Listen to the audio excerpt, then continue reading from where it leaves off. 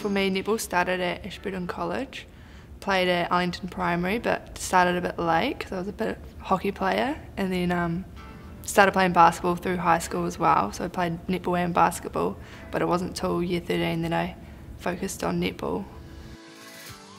My earliest netball memory would be at Arlington Primary, and you had the pleated skirts that did up at the sides, and there was this ugly maroon colour, and the tie at the sides bibs, and you wore your school top. And I was, I think I played like centre and like goal shoot all around the place, but defence is where I always wanted to be. Choosing between netball and basketball was, wasn't an easy decision, but for me I had to look at what I was better at and where it would take me further. And for me netball was like a given.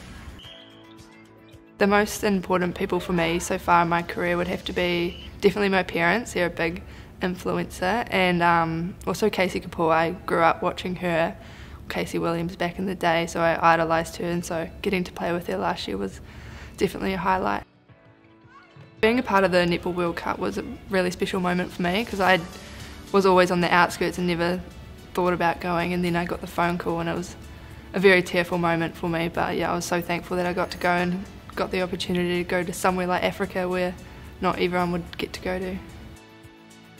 My aspiration in netball was like any other girl to wear that black dress someday but also just play netball in the game I love and continue to love it for a long time.